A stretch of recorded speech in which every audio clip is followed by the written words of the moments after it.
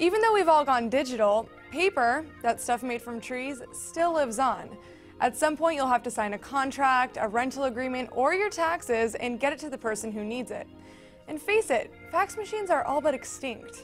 If you don't own a scanner or just want a faster way to get documents scanned and delivered, here's how to do it on your Android phone.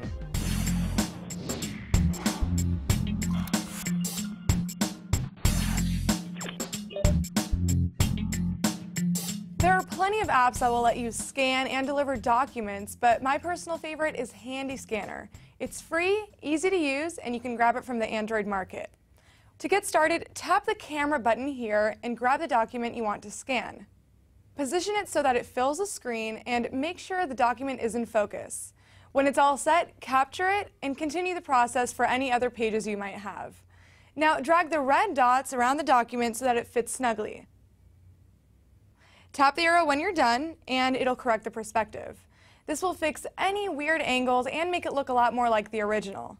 Now check the document and decide if it needs any tweaking.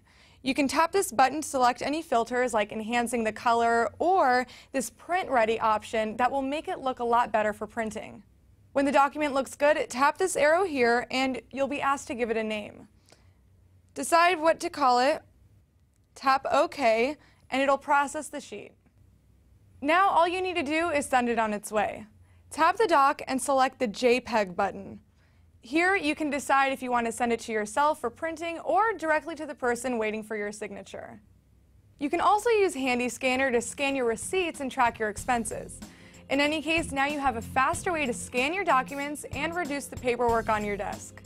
For CNET.com, I'm Sharon Vaknin.